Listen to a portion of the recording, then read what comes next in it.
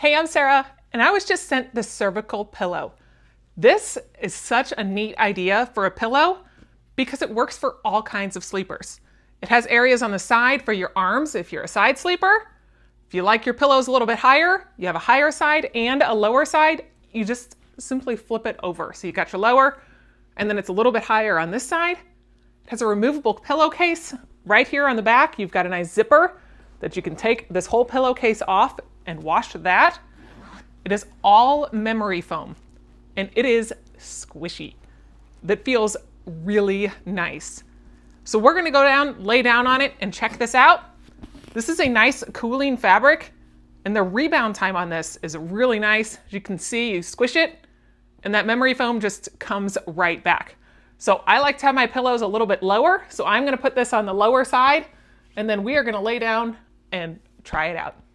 All right, so as you can see right here on the side, it has a lot of different contours all over it. And that's just so you can lay your head down. And I mean, it just falls right into place. That feels really nice on my neck. I'm just kind of laying around and yet you can still move around and it just moves right with you. So that is really nice. I really like that even just for your back. But this is a really good side sleeper pillow. So when you lay on your side, your arm can just sit right here in this little pocket.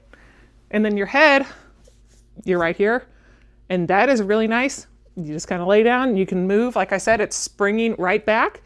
And then if you did decide that, hey, I think I want that higher, you could just flip the pillow around, do the same thing. You've got your area right here for your, for your arm.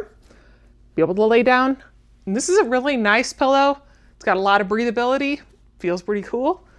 I love how you can remove this cover and it's got all the different options for laying down.